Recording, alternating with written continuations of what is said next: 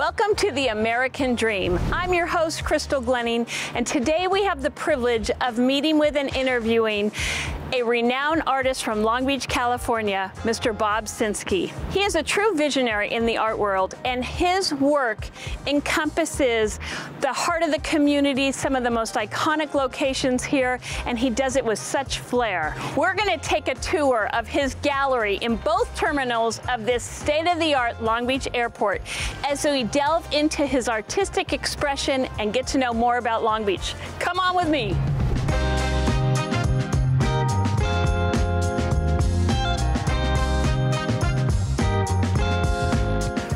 This is amazing. Your artwork is everywhere. I mean, it's the gallery spans through both terminals, and it's really incredible to see. Can you tell us how this opportunity came about? I called the airport. It, it was my initiative, and I have painted so many scenes of Long Beach Harbor and Alamitos Bay, mostly the waterfront, that I came to them and said I could literally fill the convention center full of my imagery. There was a need for the airport at the time. This was just pre-COVID, and so I had so many images for them to choose from that uh, it allowed us to come together. And what inspires your artwork?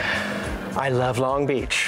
I grew up here. I started selling my work when I was 14 years old. Had my first show in 1992 in Long Beach and sold out everything, 18 paintings. None of the pieces that you'll see at the airport are the original paintings. They're all sold. They were all privately commissioned. Half of them, and there's over 20 murals here at the airport, half of them are printed on the same canvas that I print originals on. I always like to have water in my scenes. You can paint buildings and architecture, but that, uh, especially when you're a realist like myself, if that's all you're painting, you might as well just have a photographer. What I think makes my painting special is the reflection and the water that you see. Saw this as a wonderful way to show our commercial section. If you look at the top part of the painting, the whole bottom half of the painting is serene to let you know how close you are to the water. It's very important when we're marketing the city of Long Beach to show our proximity to the ocean. So this particular scene was part of a series of scenes that, that covered the whole city from Alamitos Bay all the way to the LA River downtown. This is Long Beach Yacht Club located in Alamitos Bay Bay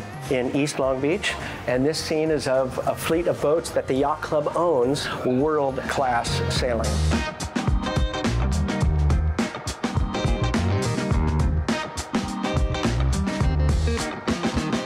So this piece really seems to encompass of California from top to bottom. Can you tell us about it?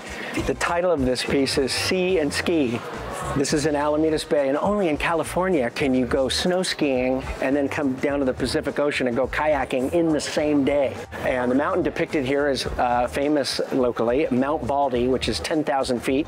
And doesn't it make for a great day when you get to do all those things and all those fun activities in one day? Only in California, baby. Love it. I know that you are renowned as a local artist, but I also understand that you've been recognized outside of Long Beach. Can you tell us more about that? Way back in 1998, I, I was uh, put on the map, so to speak, by the American Society of Marine Artists. A juried exhibit at the Newport Harbor Nautical Museum in Newport Beach, California, along with not only the best maritime artists on the West Coast, but my work hung alongside that of John Stobart, who was an Englishman who was widely considered the greatest maritime artist in the world.